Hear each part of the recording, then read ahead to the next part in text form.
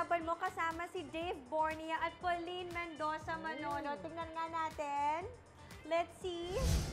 Aba, aba, parang meron kayong bu gustong buuing pyramid. Oo. Cheerleading ba ito? Cheerleading Cheerleading. ba ito? So Manolo, nasan ka dyan? Ikaw yung nasa pinakaibaba. Hindi, siya yung nakadilaw. Yes po. Yung nakadilaw na naglalakad. Joke lang. Saan ka doon, Manolo? Sa pinakababa po,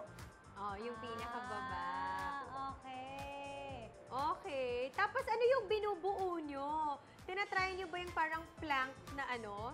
Na patong-patong? Kasi po, ano, sa lock-in taping po kami. So, walang weights, Okay. walang gym. So, kailangan maging creative to add resistance po. So, mga kabusa, alam nyo na, lightweight lang po si Dave Bernia at Pauline Mendoza. Wait, sir,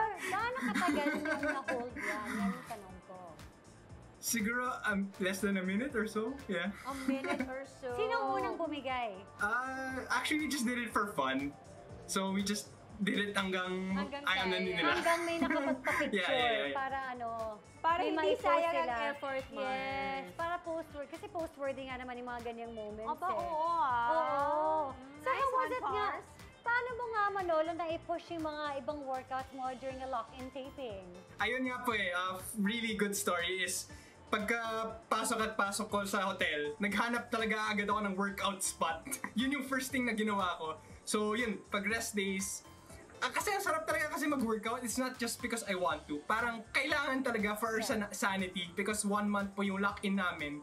So yun, pag rest days, I make it to a point I work out every day. And then, I also invite my co-stars para, di ba, work out, we're being healthy, we're bonding, and we're having I was fun. gonna say na mukhang may kadamay ka nga eh. Oo, Mars. Oo. Yes po. Ang saya. Oo nga Okay. naman. Pero syempre, Mars, hindi lang sa mga videos nila tayo, ano, may nakita. Ay, wala Aba? na pala, joke lang. Sa mga videos lang pala meron tayong Oo, nakita. mga video pa andar na talaga nila. Ang ating tinutukan at binigyang pansin